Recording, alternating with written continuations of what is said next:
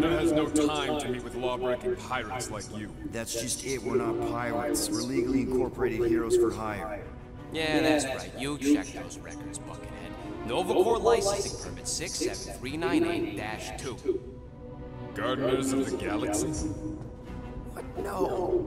Rocket! So I let Groot fill out the paperwork. I fixed it with an addendum. Not the most well-known heroes you could hire, but definitely in the top five of most awesome names. Contributing members.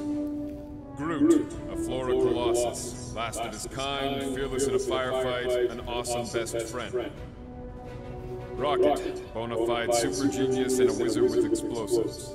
Definitely not a raccoon. Gamora, adopted daughter of Thanos, deadliest woman in the galaxy.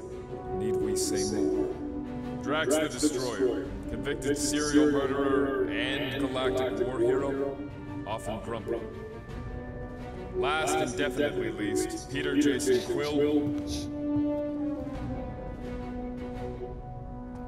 That's it. That's all you wrote? It was a character limitation. Sorry.